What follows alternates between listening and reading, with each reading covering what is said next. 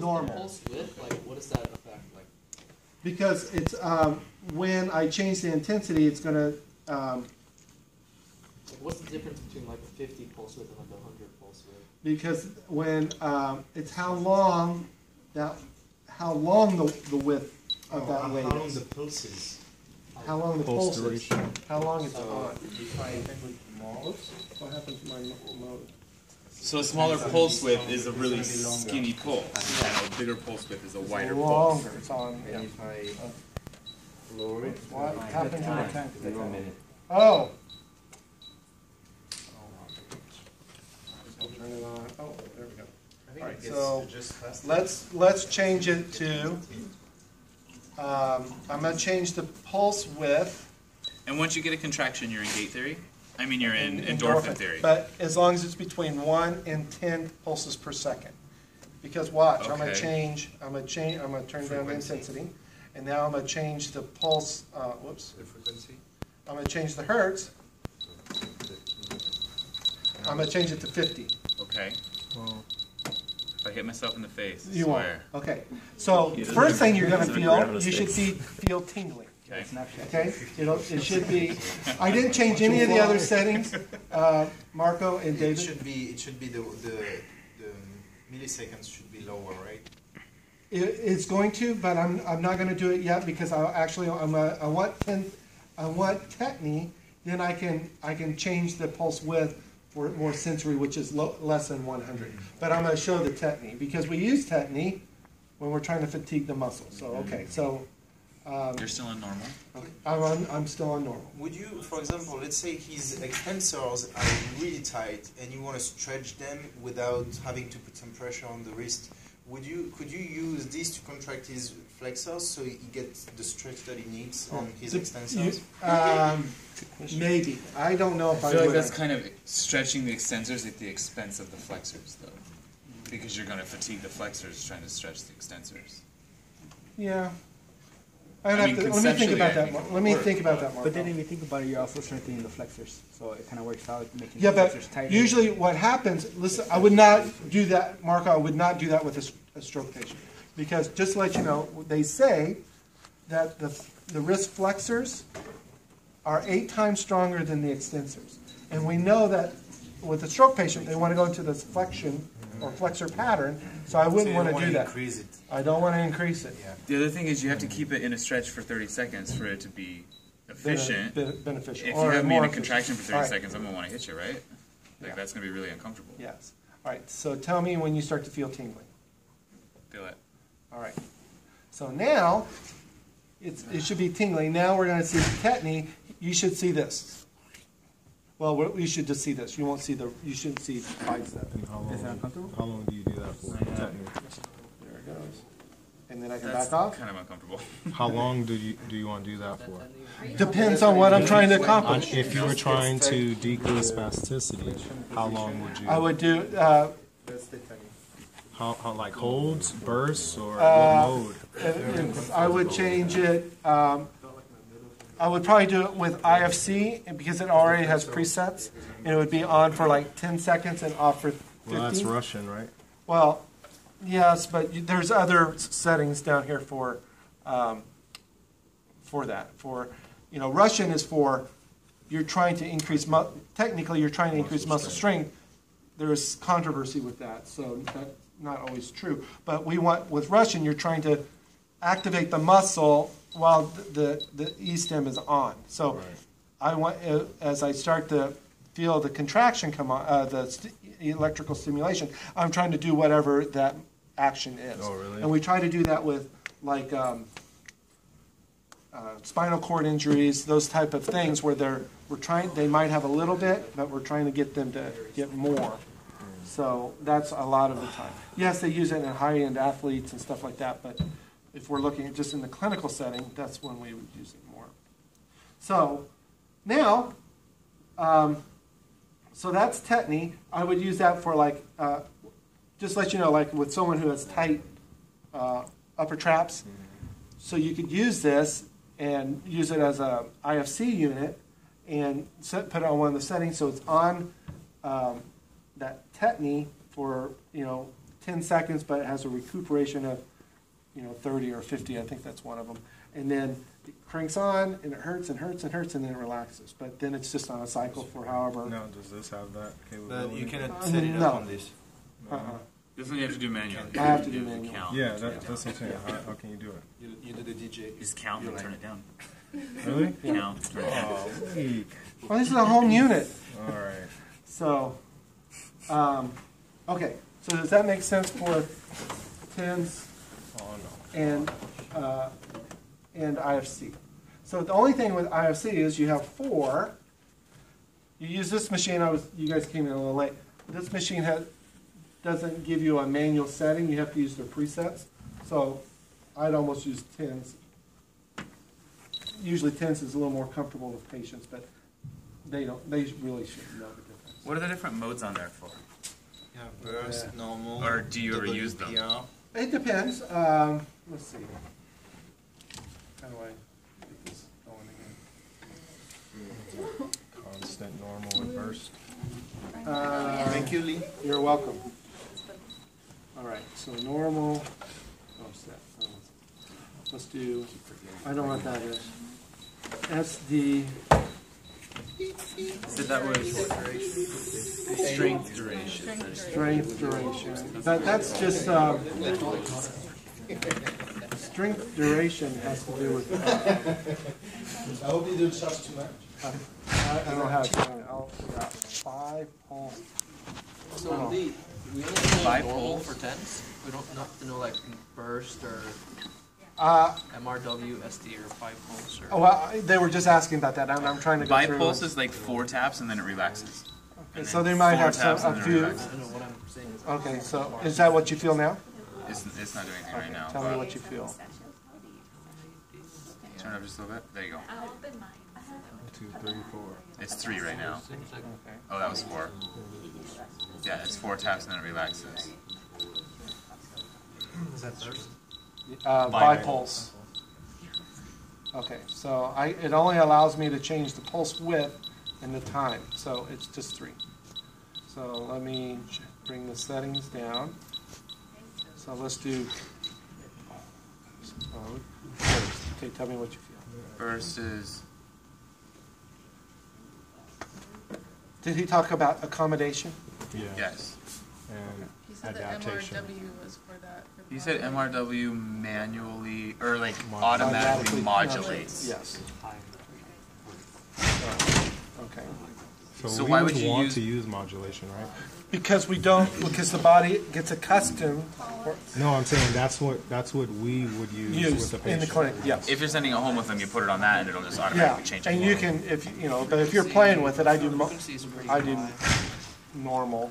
Now, would you modulate every single parameter, or would you do, could you do one or two, or, like, Bill said we have to do every parameter to avoid isolation.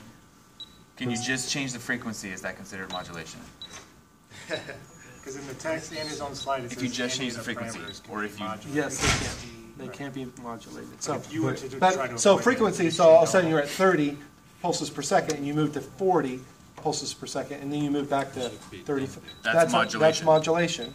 Or you could change, What about amplitude? Try to get. amplitude's gonna change. You could use amplitude as a accommodation to, to. Uh, So the question is, you can do them individually. You don't have to do. You don't have to change all the settings. You can do them Modulation individually. has it, it, you can change the Yeah. settings. Uh-huh. So, you, you know, well, these, these are very simple. You have very little control on how much modulation you have. So it might go, it goes da da da da da, and it, you know, slows down, da da da da da, and then, you know, you- it there's some type of setup in the, on the machine that says this is what, how we're It's going like to, random. Yeah, settings. okay? Eh, all right, so does that make sense here? This is the same as this, except you're using four pads instead of two. Because you can only get the um, interferential if they're crossing and they're canceling each other out. If they're running side to side, there's no cancellation, they're Right. going back and forth. Did Right. you do sensory or conventional yet? I can. We, I, I can. So let's move it back to uh, normal. So I'm gonna put the, uh, it's at 50 hertz. So it, um, 50 hertz. So that's um, anything over 30. If you turn it up uh, to high enough intensity, it's going to cause tetany. So usually we say endorphin theory is 1 to 10 pulses per second. Anything 30 and above is going to get us sensory. So when you say hertz, it's frequency, right? Yes. We never talk about hertz for. Okay. So what I'm going to do is I have it at 50 hertz. The pulse width is 100. That's microseconds. Is the US pulse width is the pulse duration, right? Yes. And so then, uh, and so I have um, the frequencies at, uh, or the rate is at 50 hertz. And then the pulse duration is 100 mic- microseconds. It's not milliseconds, it's microseconds. And then um, the intensity, I want tingling. You should just feel a tingling action. So you turn the hertz Now I'm Uh, changing, higher so that it becomes more frequent. no, I want to bring the hertz down because it's more sensory driven. I can bring the intensity up a little bit. I thought one to ten was in was endorphin and higher was Hertz determines depth. Hertz tells how fast the taps are going. yeah. That's the frequency. It's the frequency. So your frequency has to be But if we're talking about full, the width, uh, how, how big is the pulse itself, I want it lower for sensory. smaller, smaller, skinnier Yeah. pulses. Yes, and usually we say about 90 microseconds. So it is between thirty and one fifty. Wait, microseconds. Microseconds. Okay. That's Fifty how, to that's 80. how, Fifty to. Fifty, eighty. Okay. what? He said fifty to eighty. was what we were taught for. That's frequency. We were taught hundred to one fifty for frequency, pulse per second, and fifty to eighty Yeah. microseconds. But that's what the For, book says for, also. for gate? Yes. Uh, yes. Okay, okay, that's fine. Every, everyone's a little different. I was taught less than 100. Anything over 100, we're going to do endorphin theory. I don't think those are, those are the text numbers. Okay. Phil got that in the text. Okay. And I think endorphin was what, the opiate was Two hundred to three hundred. Two to hundred. three hundred. Depends on what your goal is, but I would say over 100 microseconds. Okay, so tell me when you feel a tingling.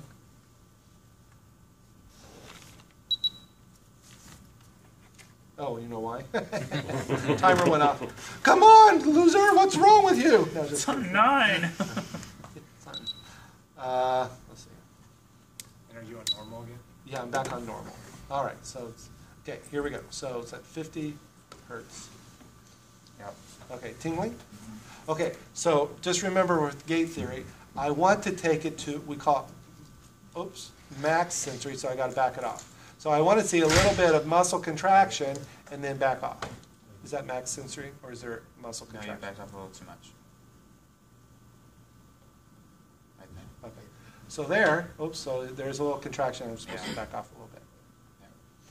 But that, with, if I would've left it where it was, well, normal, because there's no modulation, you know, you would probably stop twitching after a little bit of time. So now I just leave it on, so I, It's just a constant tingle. That's Constant just a tingling. constant tingling. So after, you should shut the gate quite quickly if there's any pain, but once we turn the machine off, the pain will probably. How much pain back. does this cover?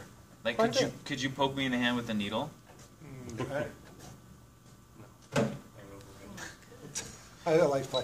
Oh, let's try it. Let's try it. Payback to that question. Yeah. All right. What other? Can I explain anything else on the? You stay on normal pretty much Well, for most. no. What I, if I was the first time I got on the machine?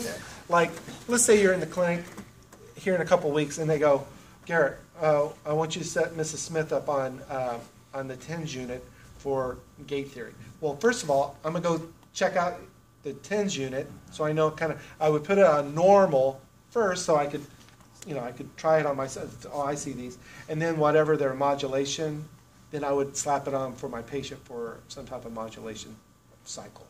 Okay. But for normal, you know, that's just for me just to say, oh yeah, okay, I've, I, I- I feel okay, got back off. And then I, when I get to my patient, I know that I can, once I got it set up, then I can move it over to a modulation cycle for, for the patient. But if, because sometimes it turns off and you gotta wait and you gotta wait mm-hmm. and then it kicks back on. So you just put on normal, get your parameters set up, and then put it over onto modulation. Okay. That's how I would do it. That's how I do it. So I hope that helps. This is one of the things I want to cover. That last Wednesday lab is going over any of the, the the, this, any over, uh, OT, I mean, uh, ortho, So not this Wednesday, the following Wednesday. Right, because next Wednesday during my lab is still our practical, but the following Wednesday, and anyone that has, technically has makeup hours, that will be done during that time too, but just so that we can knock it all out. I have a question. Um, for the, for the pre-mod IFC on that thing, he said you can, you only use two electrodes. And then So for two the electrodes, four electrodes. quadrupolar, use four.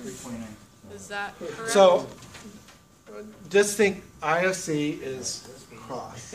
Yes, and that's what I understood. Yeah. But he said if you're, for the pre-mod, you can only use two electrodes, how would you? He said that because only channel one comes up. That's where he got. Well, and I'm, But- then I'm saying, is that truly IFC or is that TENS? It would be tens if there's You no would- interferential. Well, and you're only using one channel, Right. I don't see how that you could be doing Interferential. interferential, Right. Okay. so. If you And we connected that another one, interferential would, setting. would the other channel come up? Uh, because I thought, yeah, it'd be. Oh, you know what, that's right, you know what, because there's two channels, I mean, you could, you could run, you have four things off one channel. I don't know what the You have pre-mod things off is, channel. I don't know what pre-mod, I don't know what the parameters are for pre-mod. I, I, I need to look at that. Uh, uh, let me Will see. you be in lab Um, today? What? Will you be in lab today? with Phil? I think he's going over all this. He is going to go over all of He'll it. play But something completely different. Pre-mod interferon operates with a carrier frequency that is not You pre-modulated. know, Oh, it's a station, like, It's in the- they divide you like in three or four groups, and tell you someone's gonna go there, the, just the track. something with endorphin theory, I'd probably put it about one-ten. And then, um, Then it go, we'll go back down to one hundred. no, this is this is different. That's not no, that's pulse width still. Now, That's pulse width too. oops, Pulse one and pulse two. Because it's quadrupolar. why is it not changing over here? Oh, because we don't, we're in quadru- think this quadrupolar, hold on. We're also in quadrupolar. Doesn't that mean that it's gonna be running at Two channels. No, two channel? not necessarily. No, it has both of them highlighted. All right, I have to, I gotta, Differential because it's all tweaky. What do you use the second channel for? well, let's say you wanna do here and you wanna do here, or you wanna do one patient here and you got another patient over here. They can use the same machine. I really don't even know the difference between interferential and like conventional Oh, time. you missed my talk. Yeah. It was a good one. Interferential is always cross fibers, Okay. cross wires, and uh, they end up canceling each other out, so you can narrow down. Five thousand hertz, if you look over on the Yeah, yeah. So, think of a, think of a, you know how you have a pool and you have the waves that are going like this, and when they hit, they flat, they cancel each other out, and then they go. Same with this. So, one set of um, um, electrodes are a base of five, and they they constantly alternate. They're alternating. So sometimes they're going this way, sometimes they're going this way. down, some- Well, they're going. They're not gonna be going sideways, but they're They're gonna be going, going. they're going uh, diagonal. Oh, diagonal. So what happens is, what the baseline frequency is five thousand. Well, the other one, the other set of electrodes are at five thousand and one up to five thousand one fifty. So use, if we're use, if we're thinking in math terms, each of the five thousands interfere with each other and cancel each other out. Whatever's left over is the one to one fifty. So it's more comfortable for the patient and it goes slightly deeper into the, the tissue. Um, So depending on what my, my um, objective is with my patient, do I want one pulse per second or do I want 150 or something in between? And I can do that on most machines, but this has a pretty strict setup where it will only allow me certain parameters. But if I, if I look on the, the chart over here on the, on the right, with a TENS unit, I can, um, I can go, I can just, I can adjust all the parameters. I can go from tapping, which is a sensory, where it feels like there's a tap, but there's no muscle contraction, That's hertz. You're talking about hertz right now, right? Now I'm talking about uh, PPS, pulse per second, pulses per second. So pulses per second from, which would be our like microsecond no, microsecond has to do with the pulse width. width. Okay. How long that is, So PPS is directly related to hertz. yes. Okay. Pulses per second, yes, to hertz. So whatever the hertz is, or pulses per second, if I want to do gate theory, I want to do low pulse frequency, Okay. 1 to 10, and I want a muscle contraction For gate theory. for endorphin, For theory. endorphin theory. For gate theory, I want the parameters are different. I want high um, hertz or high frequency, But low width. low width, because I want sensory only for gate theory. Yeah. So then it should feel like tingling. And you put those on nerves, whereas IFC you put on motor points. Well, yeah, but if I if, if it's sensory, there it's the it's still going through the muscle fiber up to the spinal cord Yeah. to shut down or shut the gate on the pain sin, uh, signals. Yeah. So I know Phil's, he told us something that if you put, if you have pain down here, you're most likely going to put it more proximal. proximal. On, on the more proximal nerve root, so it, I, I wouldn't disagree with that. okay. I would agree with that. So But that's, I was, I was kind of playing around with it last week. Yeah. Or whenever that map was. These are not We were toys putting to it play on- around with. I, I looked at like the, the map of the nerves. I Uh-huh. was just putting it on, trying it out. on people. sure, sure. They go numb like down here. Yep. Once I did it right here, they go numb in the hand. Yep. Flip it over, same thing. Well, you got the median nerve. yeah, median nerve. and and you got the ulnar I nerve, did the ulnar yeah. nerve, and I did You can do the radial nerve on this side. yeah. You could do musculocutaneous up here did musculoskeletal for the biceps and you know for the biceps flexors. and uh, brachioradialis. brachioradialis. Yep. So that was pretty cool. Yep. But Do you want to do ultrasound? We didn't do. really weird. Yeah. I, I mean, I was warming up the gel so we could do it. Yes. So. Now underwater,